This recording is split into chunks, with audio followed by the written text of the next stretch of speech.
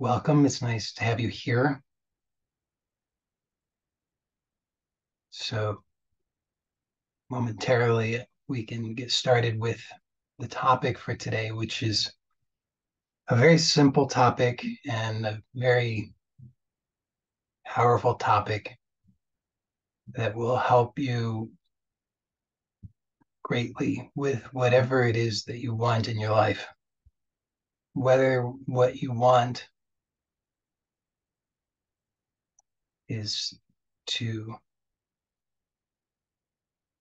have greater success in something materially or spiritually. It's a fundamental thing that will be very helpful. And it's not something that uh, many people give a lot of attention to, but it perhaps for that reason is very important to understand because without this, it's very difficult to be successful in anything. So we'll get to that momentarily. To begin with, though, as those of you who are here live know, this is this meeting is called Relax into Health, Wealth, and Happiness.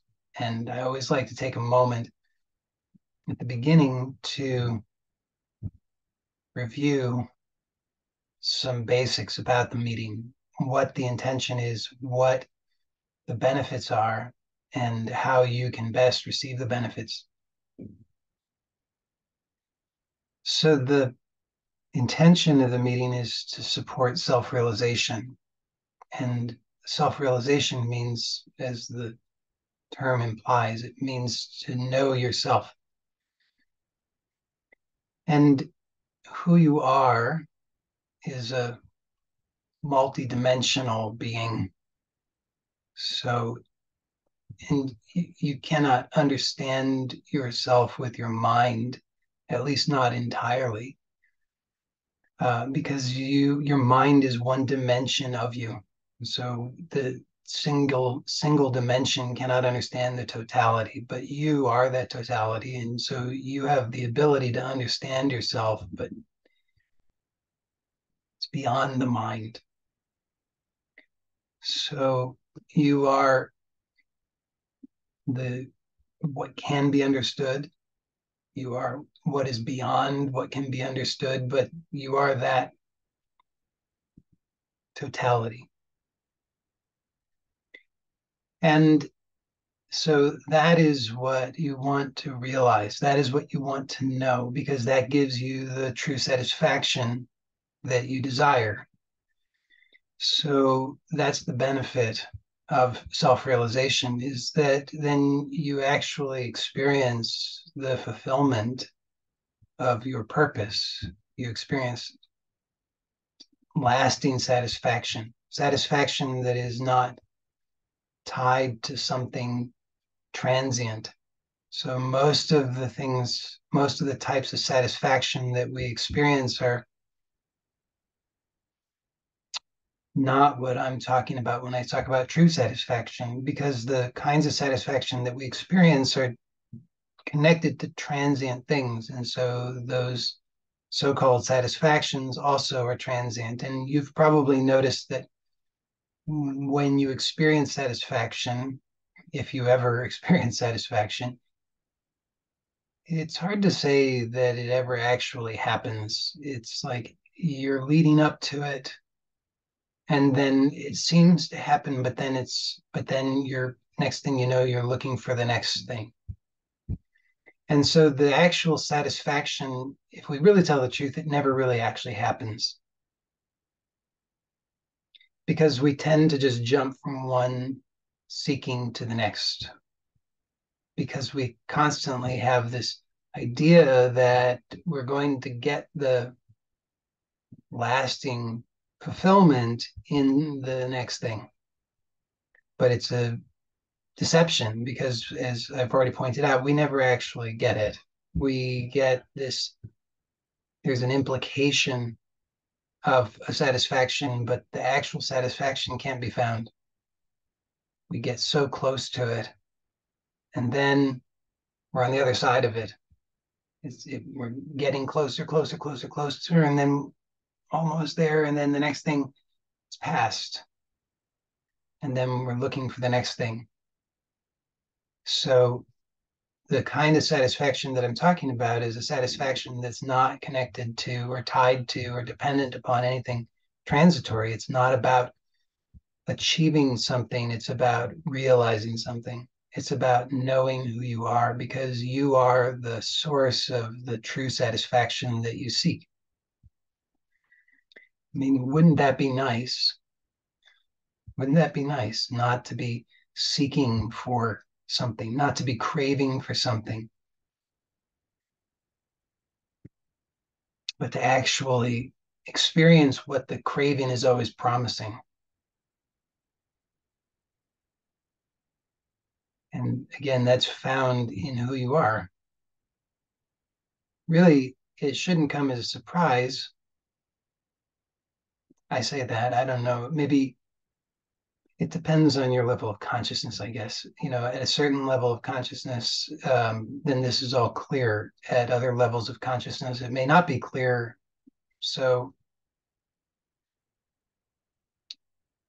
but maybe it's possible for it to be clear to you. So I'll point it out, and then you might see what it is for yourself, in which case that will be very lovely for you. So just notice that every desire has in it already a promise of fulfillment. That's why you desire.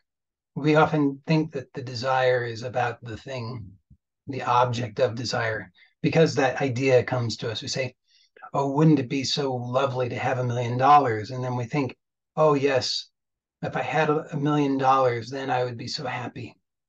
So our focus gets goes to the million dollars and we say oh if i had a million dollars just had a million dollars that's my true satisfaction.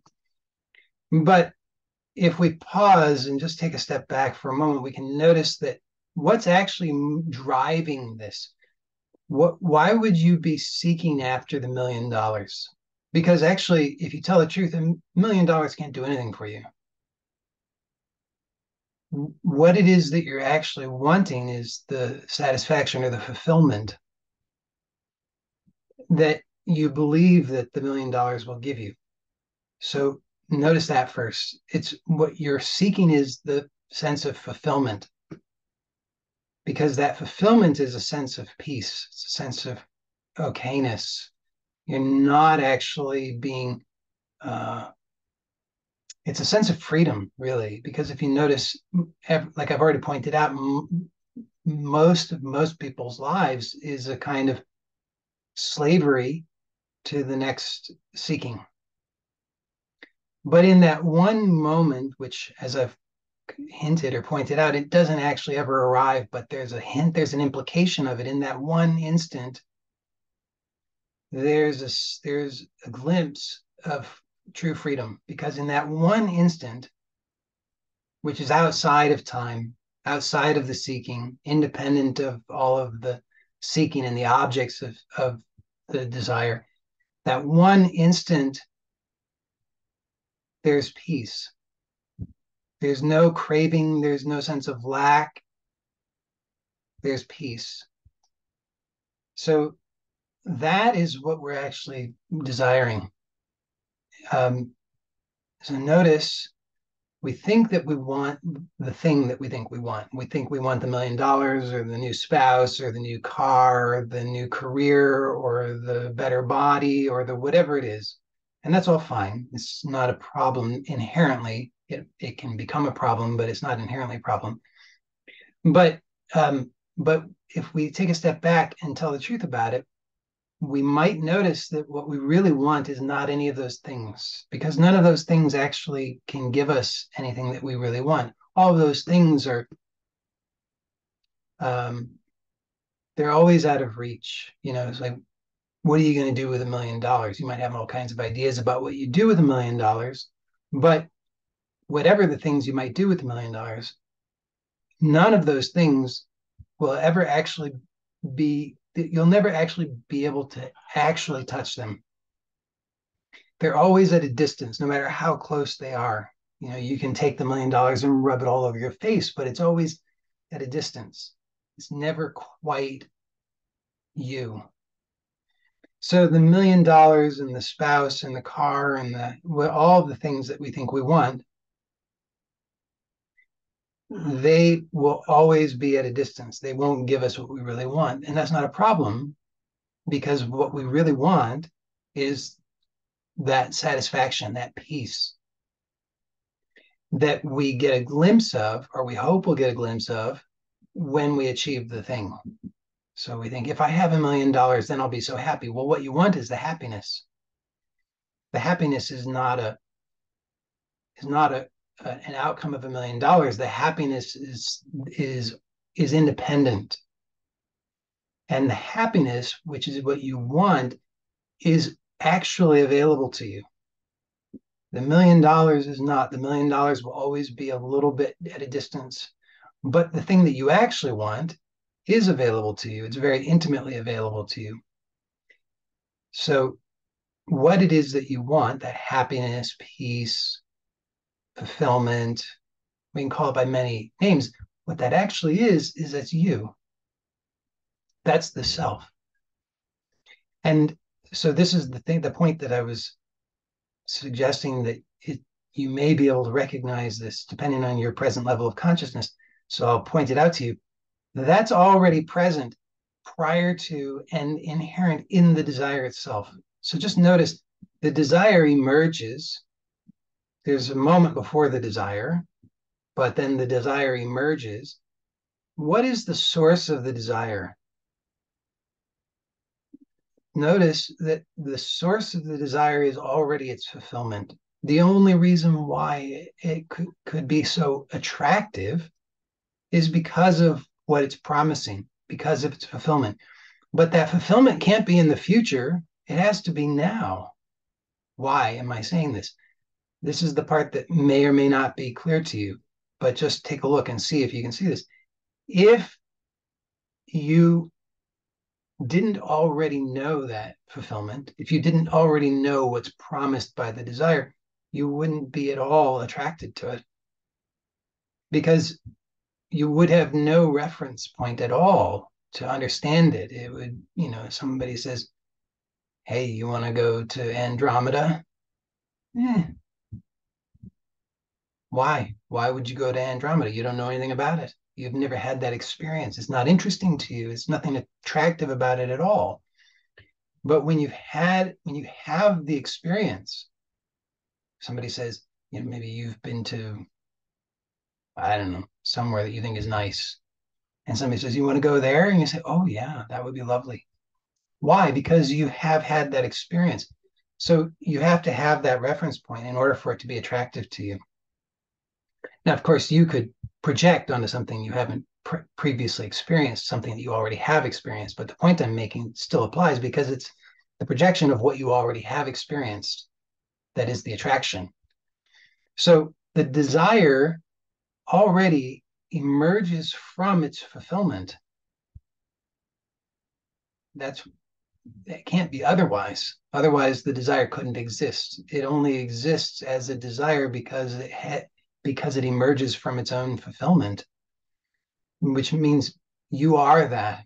You are attracted to it because it's already pointing you to something that is already known that is supremely attractive. That's why you're drawn to it like a moth to a flame. But the mistake that we make then is in thinking that the the thing that we think that uh, the object of the desire is going to give us the fulfillment but the object of the desire as i've already pointed out it can't because you can't ever actually have it but what is possible is to have that which already is the fulfillment which is prior to, during, and after the desire, because the desire arises from that and it exists in that and it merges with that. And that is you. You are that fulfillment. Now, how can you know that that's true? Well, you just look and see. Just see that when when you have a desire, notice there's already you're you're already fantasizing about what it will be like when you achieve that and how do you know that that's attractive because it feels good well where is that good feeling. It's already here. You already know it, and you know it because you are that. But what happens is within the framework of the desire, because our attention is given, you know, in a very particular way, which is limited because we limit it with belief. We say, oh, you know, there are certain conditions for this. Oh, it will be so nice. I can already imagine what it will be like. Oh, it's so lovely and delightful. But we're overlooking that that's already complete, already presently. And but we then give our attention to this limited version in fantasy. We say, oh, in the future, when these conditions are met, that's going to be so lovely. So we limit ourselves because we give our attention to that limited version. Okay, so that was a bit of a diversion, not too much of a diversion, but back to the point here is it's the the benefit of what's available through this meeting is that to realize that you already are that and to real to realize that fully, which means that you can begin to live your life from that satisfaction. Realizing that that satisfaction is independent of any conditions so the conditions come and go because the conditions do come and go that's the nature of the conditions is they come and go so sometimes the evaluation of the conditions will be that this is good, and sometimes the evaluation of the conditions will be that this is bad. But the the, the common thread in all the conditions is that they're changing. So what is good will be bad, and what is bad will be good, and it will continue to change like that because that's what happens. The sun rises, the sun sets. You know, the day the sun ceases to rise and set is the day that it's over. you know, so as long as there's life happening, there's change taking place. But so, and I'm pointing this out because otherwise we think, oh, this sounds so lovely. I'm gonna, I'm gonna become self-realized in the future. And we just do the same thing. Oh, it's gonna be what it's gonna be like. Oh, that's gonna be so nice when those conditions are met.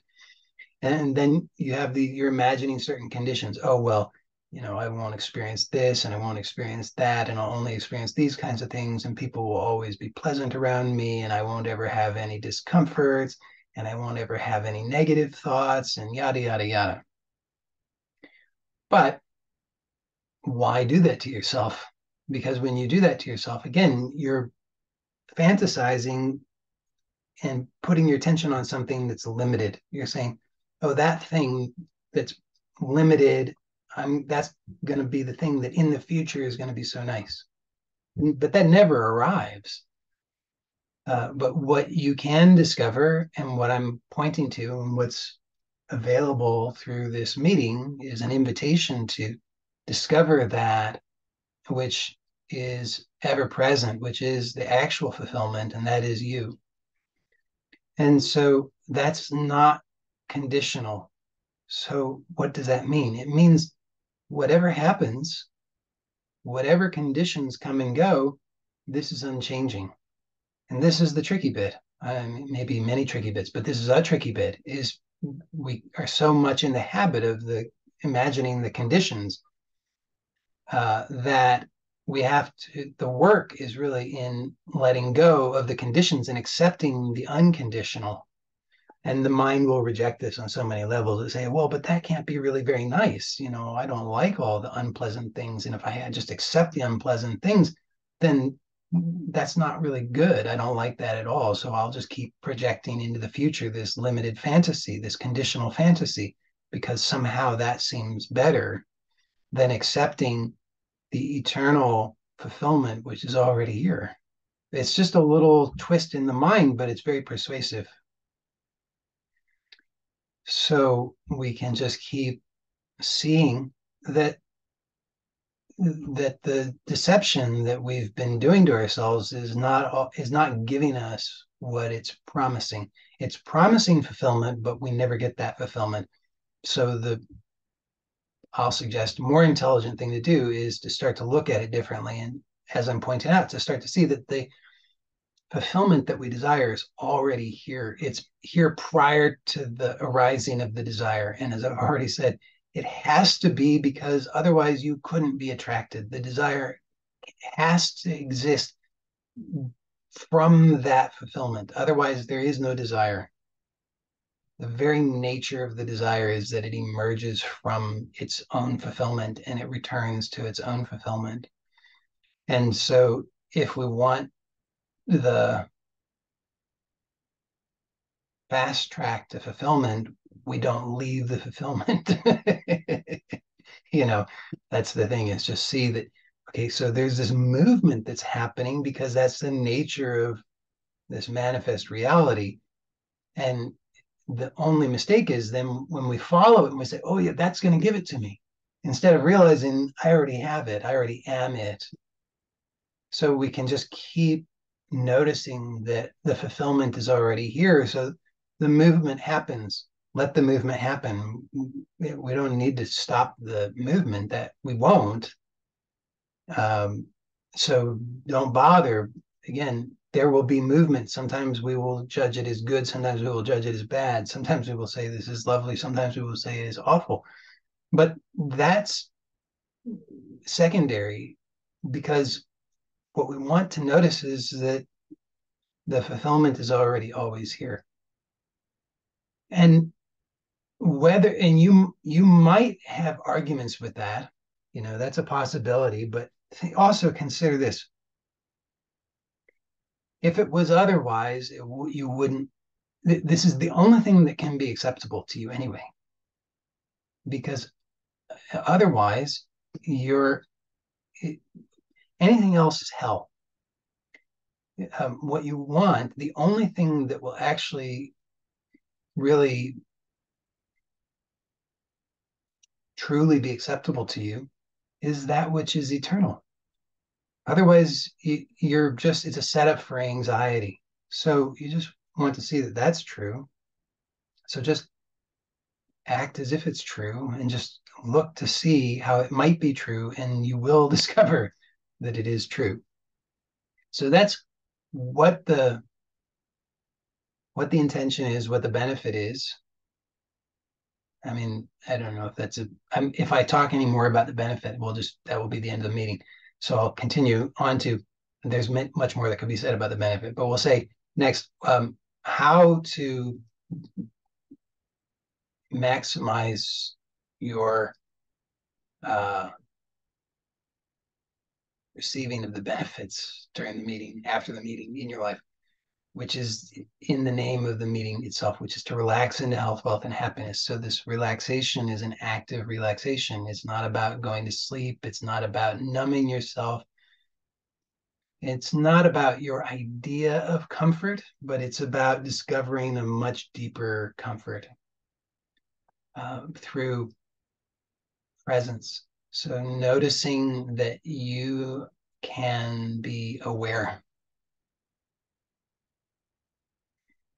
So most of us, most of the time, are uh, doing little more than uh, reacting unconsciously and calling that consciousness. It's not conscious at all. It, you were asleep and we're calling it wakefulness.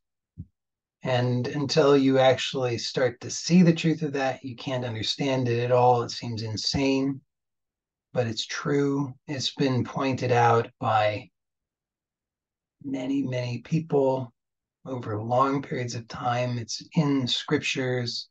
So I'm not just pulling this out of a hat. This is something that many very wise people have observed. And I took their advice and I looked for myself and I can report that it is true. And I'm just inviting you to look and see the same. So we think that we're awake when in fact we're asleep. All everything that is going on that we mistake to be ourselves, with little exception, is in fact just unconscious reaction. It is a dream that is happening almost entirely unconsciously and um, you can liken it to a, a dream at night. So you're in your bed, sleeping, dreaming. And while you're dreaming, unless it's a lucid dream, which is rare relatively, then you think that in the dream you believe that you are awake. But after you wake up, you realize that you were asleep.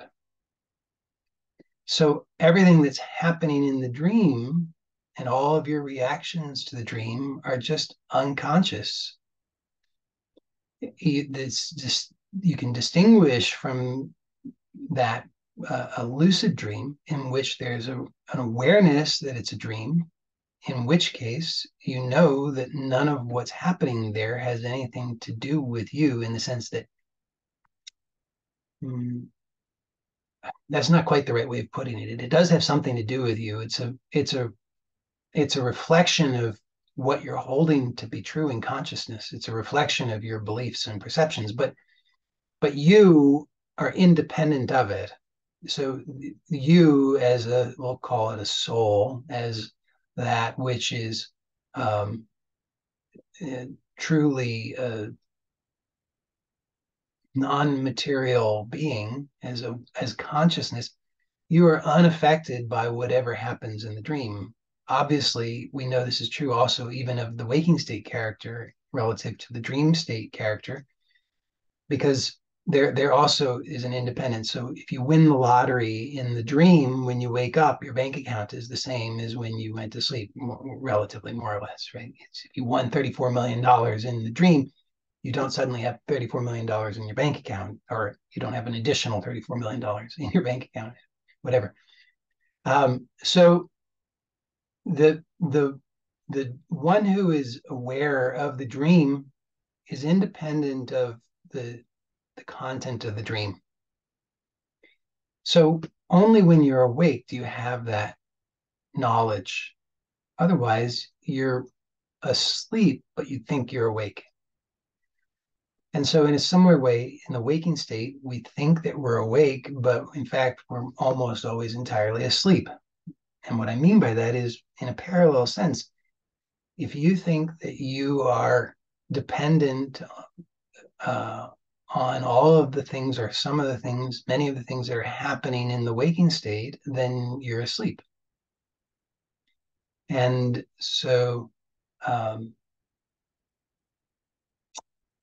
so this relaxation that I'm talking about is about being awake, present, and differentiating, being able to distinguish between what comes and goes and what does not, noticing that you are that which is continuous. You are that which is aware. You are that which is independent. You are that which is unaffected by the content of this experience. So sometimes that content is very, seemingly very persuasive But this active relaxation is just to continue to consciously relax and let go and just continue to notice, to be aware. You know, the power of the of the dream, whether it's a nighttime dream or a waking dream, is very persuasive. There's a story that I've told before. I don't remember where uh, the story came from, but it's a story about um, these two characters, Krishna and Narada. So Narada is a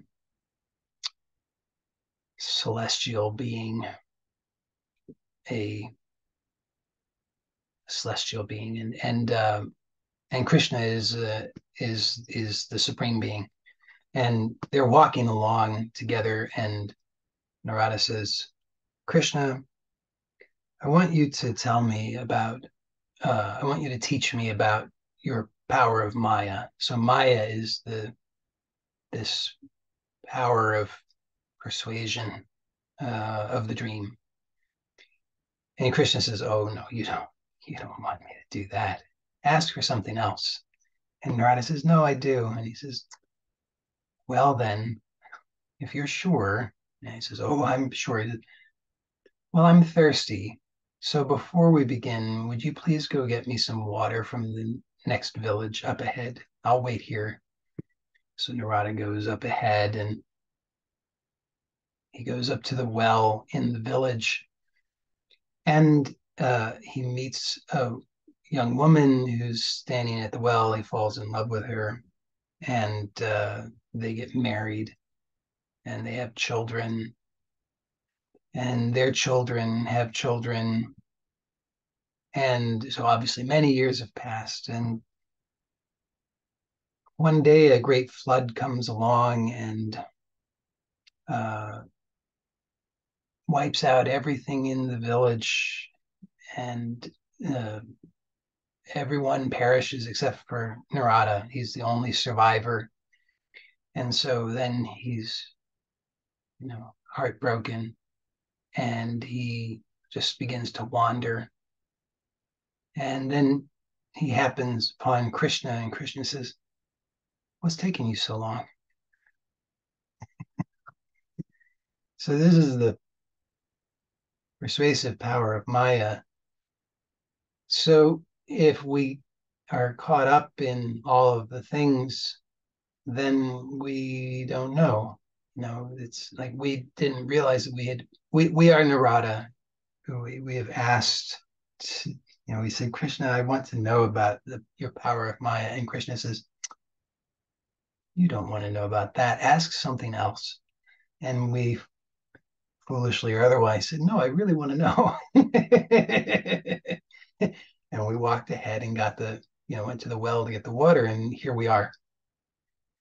And so it continues to persuade us very strongly, um, but we're we're wanting to wake up, and so you know that's why you're here. You wouldn't be here otherwise. That's that's the nature of this whole thing. Like that's the power of intention. The intention of this meeting is self-realization only the people who are sincerely interested will find their way here. You don't know how you found your way here. I mean, if you think back, you, how on earth did it happen? It's a strange thing. But you you happened upon this because there's a because that's what you really want. You have that intention also. So um, this this meeting happens, and here we are. And so the invitation, how you can receive the benefits, is through this active relaxation. So you have to actually slow down within yourself, and you have to start to consciously let go and notice that everything that's happening is happening. It's coming and going. So it's all the it's all Maya. All of this, your thoughts, your feelings, emotions, sensations, the colors, the sounds, the meanings, the shapes, all of it. And when you slow down in, internally and you consciously let go and relax, you start to notice that. You start to notice there's more space there than you thought. There's there are more gaps than you thought. And so this starts to allow you to notice that underlying satisfaction. Remember all of the desires all of the movement all of the maya all of the activity is arising from that fulfillment which is eternal, which is you.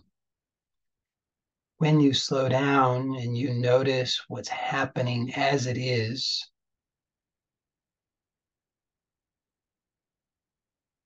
then you start to notice that there are gaps. You start to notice that everything is emerging from something, and this something you start to notice is very attractive. And it's very close. The more you relax in this way, the more you notice that it's already here. It's not something you can get. You don't need to go anywhere to get it. You don't need to, to do anything to get it. No amount of effort will give it to you or bring you any closer to it. In fact, the more you try, the more out of reach it seems to be. You chase after it, it's like a mirage. It's always uh, just slightly up ahead. But the more you relax, the more you discover that it's already here. So, this is the active relaxation. Do that during this meeting, do it during your life. And you'll see it's very satisfying. So, now for the topic of today's meeting, which is the power of focus.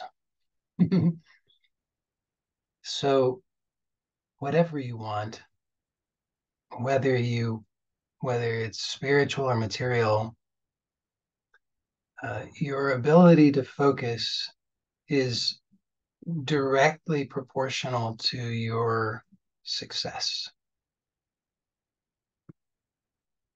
So remember that I pointed out that everything is emerging from this fulfillment, from the self, from the source. And it has its existence in this source and then it returns to the source. That's just the nature of what's going on. You don't have to take my word for it. You can just look and be curious and see the truth of that for yourself. You can just see that your entire experience, even though much of it you might be in the habit of believing is external to you, in truth, all of your experience is happening presently, here now, directly, intimately, in you as you. There's nothing else everything that you are perceiving is actually a perception happening here now in you as you. The thought says it's out there, but the reality is it's experienced here. The color, the shape, the sound, the sensation, all of it is experienced here now. So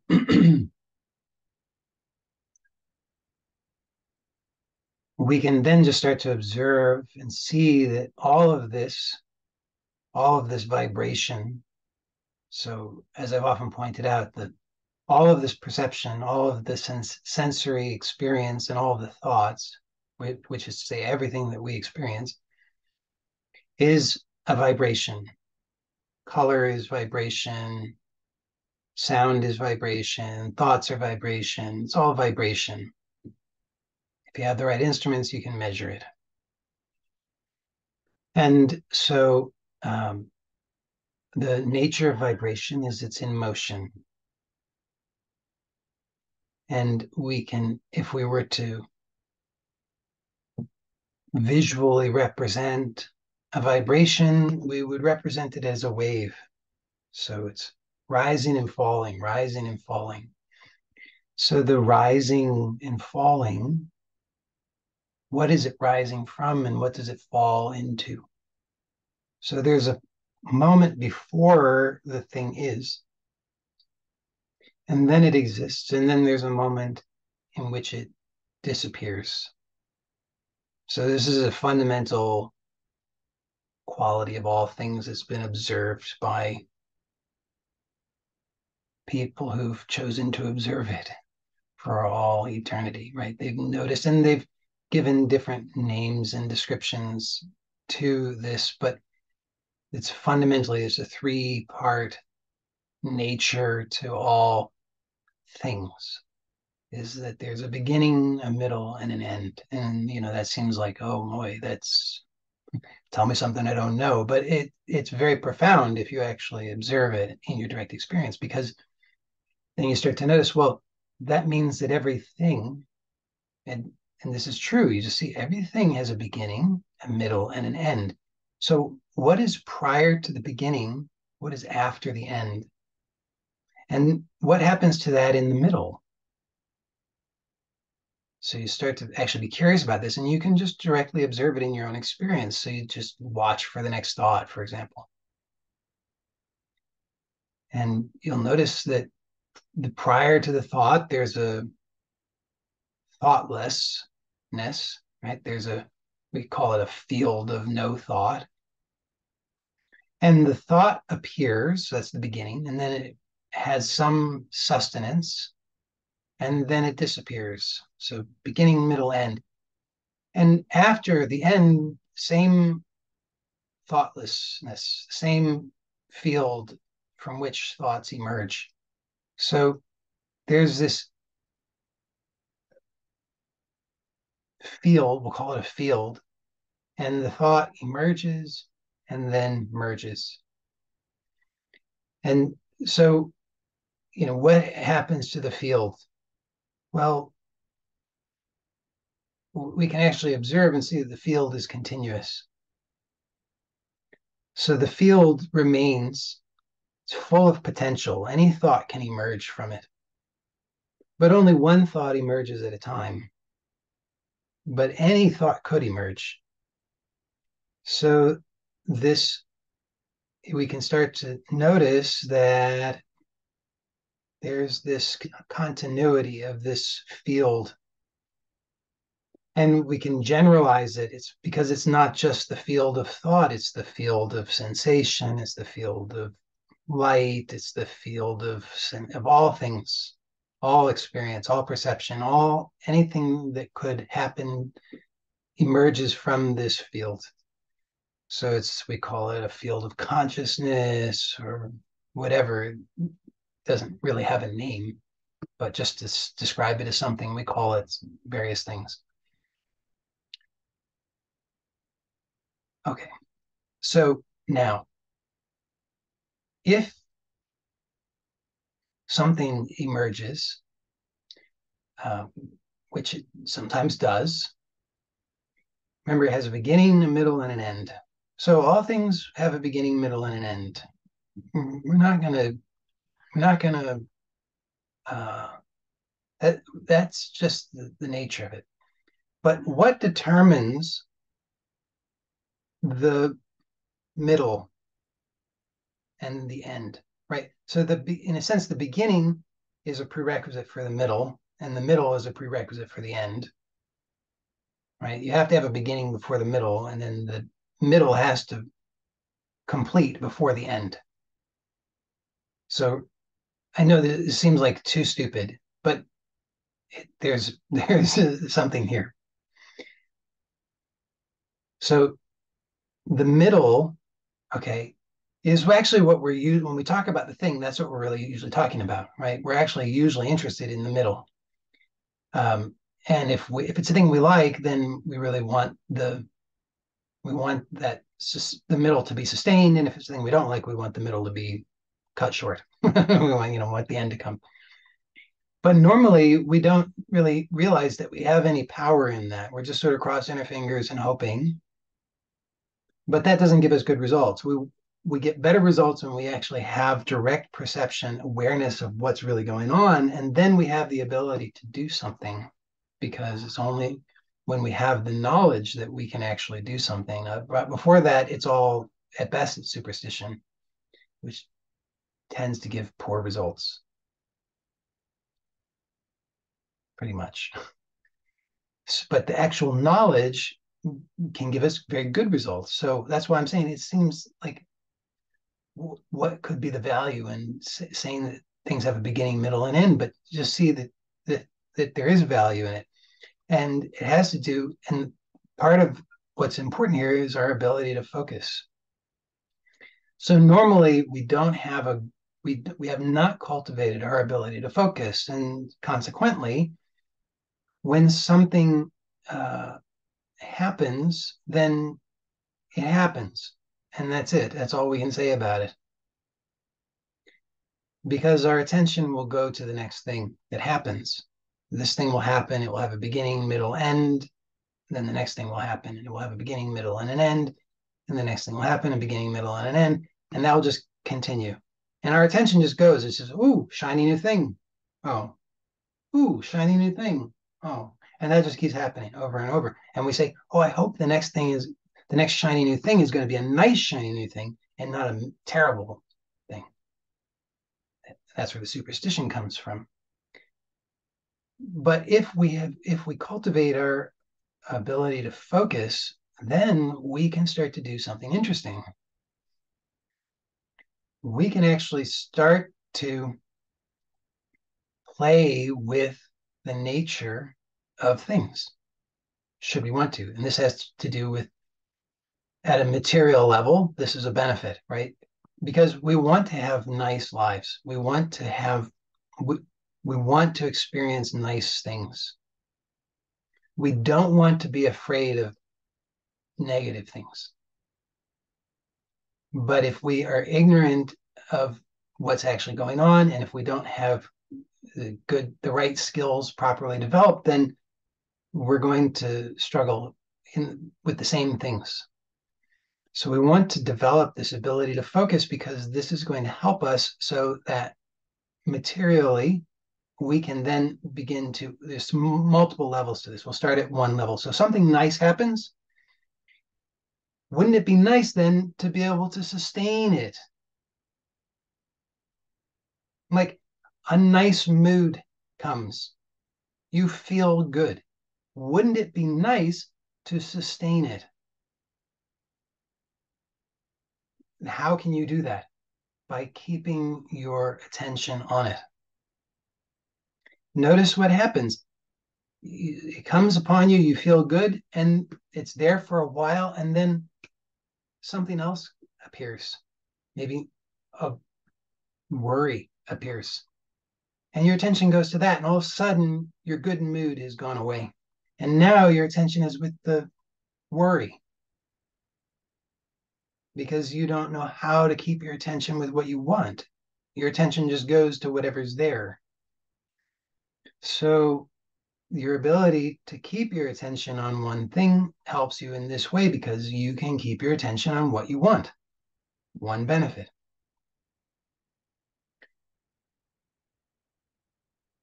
Another thing, another benefit at a subtler level, you can actually start to choose to place your attention or withdraw your attention at subtler and subtler levels so that you waste less time and energy on those things which are not in alignment with what you want. Because there's so much out of habit, there's just so many things that appear that we haven't had enough clarity on. And so the habit remains it's not you know like there's a habit of worry as an example. Who doesn't worry? So there's a habit of worry. And that habit is going to continue until you have sufficient clarity and ability to um, focus in a way that allows you to effectively dismiss it so, because what happens is the worry comes and you don't recognize it early enough. So, you know, it's uh, the, there's this field of consciousness again, and well, it's nothingness. It's full of potential, but it's nothing. It's not differentiated. And then it, something begins to emerge. It's so subtle that we don't notice it right away and then it it grows and grows and grows and grows and it's only when it gets to a certain threshold then we say oh now i'm aware of it. And it's oh i'm worrying. And by that point you, you're just worrying. You don't know how to stop. But what if you were able to keep your attention your focus at a subtler level so that you could notice it right away and you could say oh there's that worry Nope. when it's just like a tiny little speck, nope. That would be much more efficient. So our ability to focus allows us to keep our attention at a subtler level so we can notice things when they're subtler so we can start to have more efficiency it's like pruning you just the the habit might still be there but at a subtle level, it's easy to dismiss to say, oh, there's that habit I don't like before it grows into this bigger thing. Just not that. What is it that I do want? Oh, yes, that. Keep my attention there. So these are two ways of understanding the benefit at a material level of keeping your focus having having better focus. One is that you can keep your attention on what you do want, not being so easily distracted by other things. The other is that you can keep your attention at a subtler level so you can start to be more selective about what you where you place what content you choose to put your attention on so that's at a material level hopefully that's clear what why that's beneficial it will you'll feel better you'll worry less you'll have less conflict i mean just take a look and see how much conflict and stress you experience as a result of your attention on things that are not what you want right? You give your attention to stressful thoughts, fearful thoughts, fearful fantasies, negative content all the time. And if you can instead keep your attention on what you want, or at the very least, just dismiss the things that you don't want at a subtle level before it grows, that will be much nicer for you, right? I hope that's clear. So now, spiritually, let's say, there's also a significant benefit because remember, I said what you want, actually, the fulfillment of your desire, is already present at, at the source. So normally we play this game where we chase after the thing, right? The desire arises, we follow it, and maybe maybe there's a you know a nice experience that we can sustain that's nice that's a nice thing to experience so we can develop that skill again by keeping our focus there so we can sustain that maybe indefinitely. That would be very pleasant. That's very nice but it will end. All things that have a beginning ha- do have an end. So there's that. And it's okay when we have sufficient clarity about who we are and the nature of reality. We don't really need to care that much. It's like, okay, nice, nice, nice, nice, nice, nice, nice, and oh, okay, but that's all right, right? Because we didn't have a sense that my okayness depended upon an indefinite sustenance of that. It's like, okay, so now there's a little bit of a letdown, but it's acceptable. So there's that. But now, when we realize that the actual fulfillment of the desire is already present prior to the arising of the desire, then doesn't it make sense that we could experience greater satisfaction if we keep our attention closer to that, closer to the source?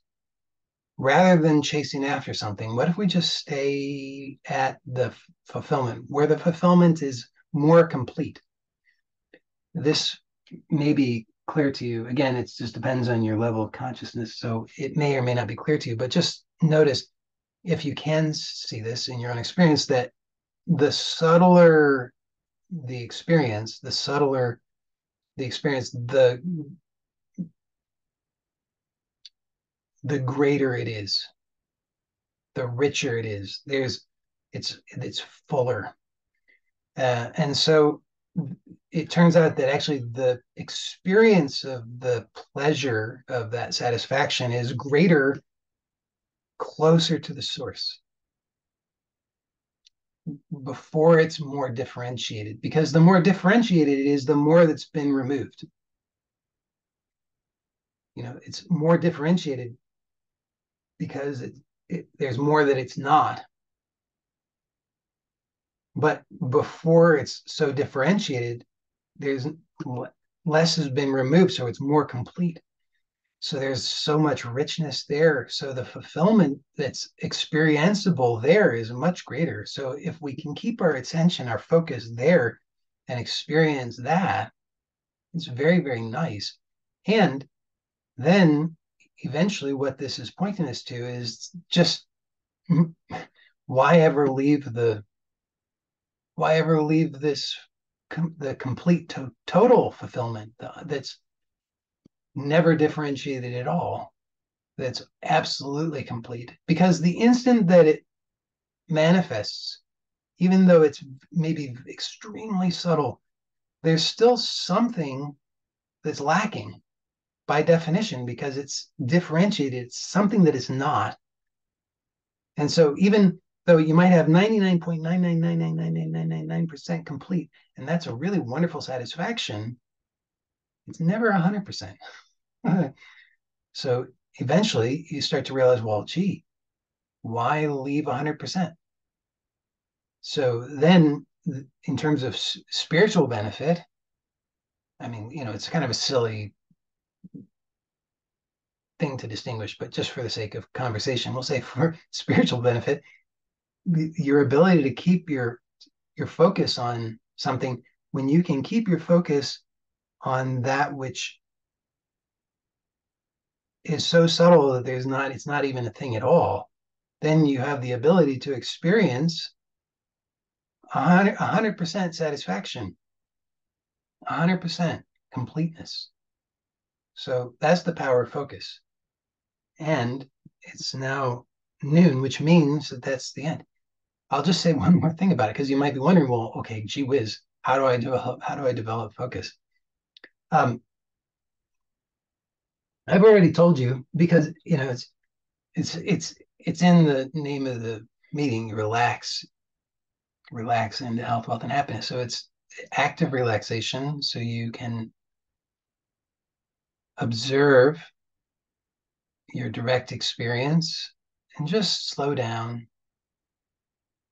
Just notice that there's all kinds of stuff happening and there's a lot of reactivity that's going on. And you don't fight with it because you can't. I mean, by the time you're aware of it, it's already here. So fighting with it is just uh, gonna. It's like it's like mud mud wrestling with a pig. You know, I've mentioned this before. You eventually you find out he, he likes it. You know, so it's like if you're fighting with what you don't with with your experiences, like it's a big waste of your time. That just keeps it going. Um, but if you just say, okay, whatever, here it is. Uh, there's reactivity going on. There's, I think I don't like this. I'm afraid. I'm worried. I'm whatever. Fine. Just, just accept it. Don't fight with it. But remember what you want. You, whatever it is that you want, and keep your attention on that. So you want peace. Keep your attention on peace. You want completeness, keep your attention on completeness. You want abundance, just keep your attention on abundance.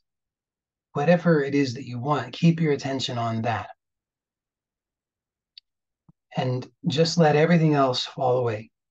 No matter, no matter what it is, it's like um, Siddhartha sitting under the Bodhi tree, and Mara comes trying to drive him away from the tree. Mara is the tempter, sort of like Satan.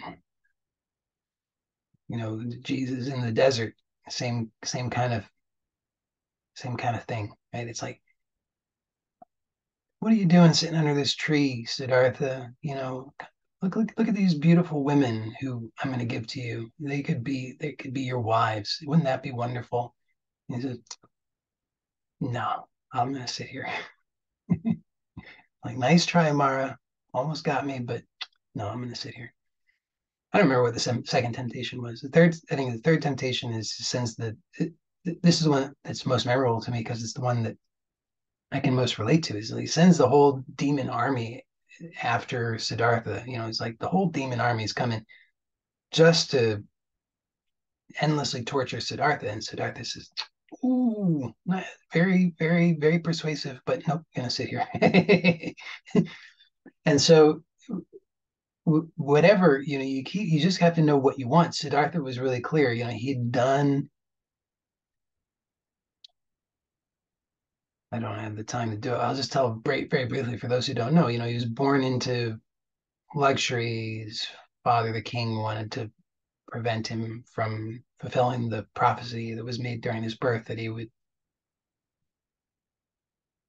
become a holy man and uh, so he he wanted to shield him from old age, sickness, and death, which he did up to a certain point. And then Siddhartha saw these things and he left, uh, left the palace and he went and lived in the forest with these renunciates and stood on one leg and ate roots and was starving to death and had the realization that was not going to give him what he wanted. So he had to get clear on what he actually wanted. You know, sometimes we're doing things like Siddhartha, thinking, oh, this is going to give me what I want, but we don't actually have sufficient clarity on what we want. And so we have to get to a certain point of maturity to realize I need to know what I really want. And so he got just clear enough to realize what I really want is something that I have to discover within myself. And I cannot find that if I'm moving here and there constantly. I have to be focused. So he, he vowed not to move until he realized it. And he sat under that tree. So that having that level of maturity and clarity is required to get to that point and then to actually follow through because then the temptations will continue right the things will come in our experience where the worry the fear the anxiety the stress all the things will come that will attempt to persuade us to move from to move our focus from what we want so i'm not saying you should go sit under a tree for 49 days or whatever it was that Siddhartha did. I'm saying that be unmoving within yourself. Keep your focus on what you want, whatever it is, whether it's material or spiritual, whatever it is, your ability to keep your focus on that determines your uh, ability to succeed.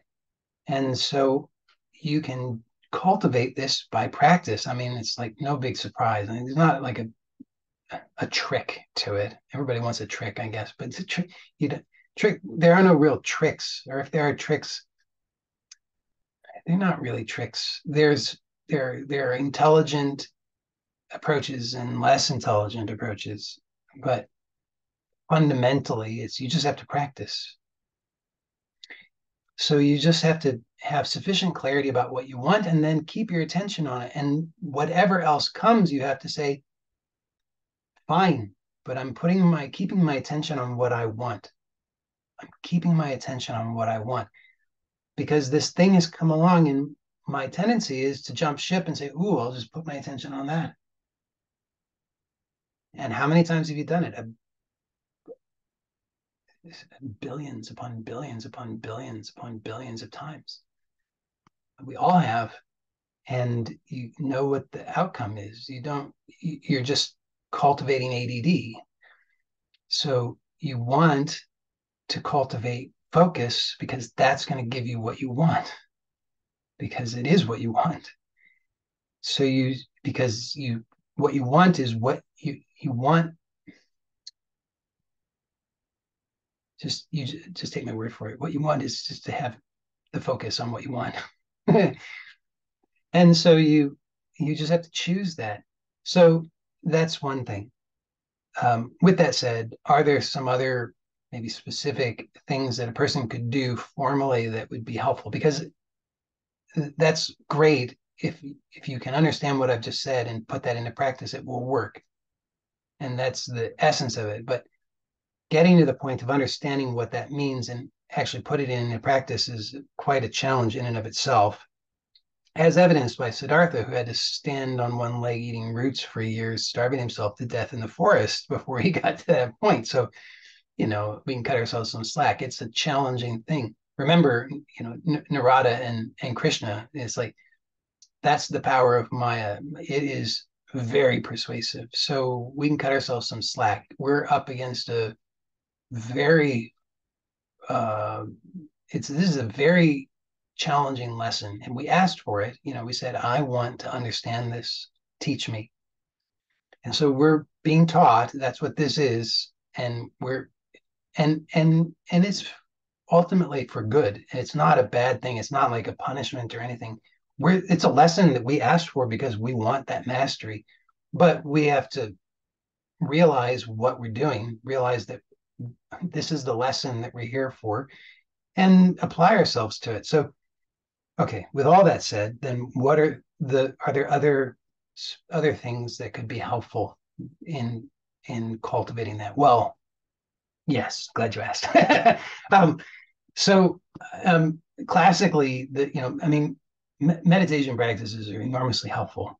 No big surprise because they are, by and large, they're helping you to cultivate focus. Um, I cannot vouch personally for all meditation techniques. I can only vouch for those that I have personally practiced. Um, but I, uh, so there may be many that are very effective.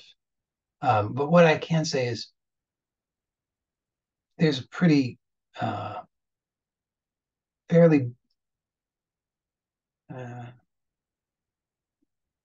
broad consensus um, among those from many different traditions that breath awareness is very powerful. So, no big surprise, I often advocate for breath awareness. Just keeping your attention on the breath, not trying to breathe in a particular way, but just keeping your attention on the breath, seeing if you can just keep your attention continuously on the breath and relax. Very powerful. So I recommend doing that. Do it formally. If you do it formally, then you know that you're actually doing it or not. If you say, I'm going to do it informally, that's fine. It's great to do, but, um, and I encourage you to do that as well, just as often as possible throughout the day. But then it's hard to know whether you're actually being honest in doing it. Um, whereas if you just say, I'm going to do it for five minutes, 10 minutes, 15 minutes, 20 minutes, whatever, every morning, and you make that a, a habit, then you know whether you've done it or not. There's no question about it. You either did it or you didn't. And you can also more easily get a sense of how that's working and what the effects are because day by day you'll be able to to notice the changes so I recommend that. um,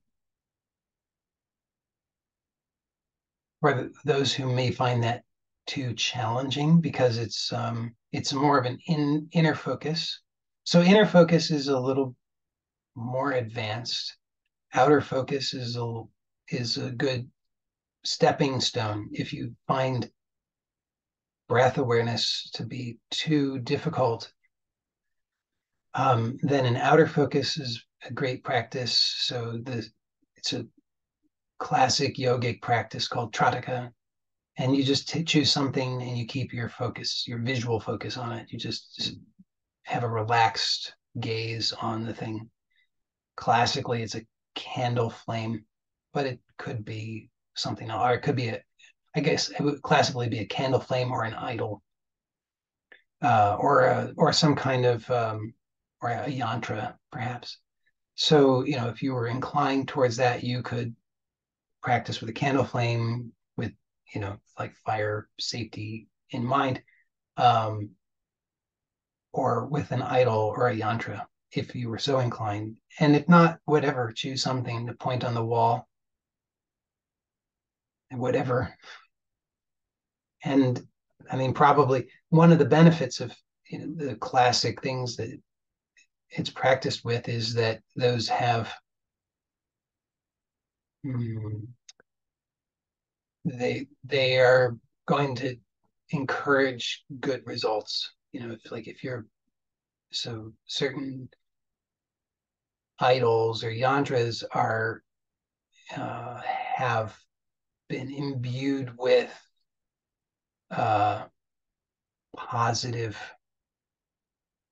consciousness, let's say. So keeping your focus on that is keeping your focus on positive consciousness. Uh, candle flame fire in general, it's transformative. So it's very powerful for burning your negative tendencies and habits and things like that. So, you know, these are, there's reasons why these things have been classically chosen. So I, I would recommend those. Um, but if, you know, if you want to stare at a point on the wall, that's fine too. I would recommend that you're be somewhat selective if, about what you're going to look at because if you're looking at something that you know you're looking at uh you just like as a stupid example if you were going to choose it you're going to like stare at facebook you know it's like you you don't want to be doing that that wouldn't be helpful it would be sort of like not aligned with with what you're wanting um, so those are things that I can recommend. You know, beyond that is for those of you, many of you who are here live, you are familiar with specific meditation techniques that I have recommended that require an, an initiation um, from my teacher. I those are more powerful, but those are for people who are inclined towards towards such a thing. So those are the options that I can recommend. They give very good results. That's it for today. Uh, for those who are live, I'm happy to stand for Q&A. Let me end this recording.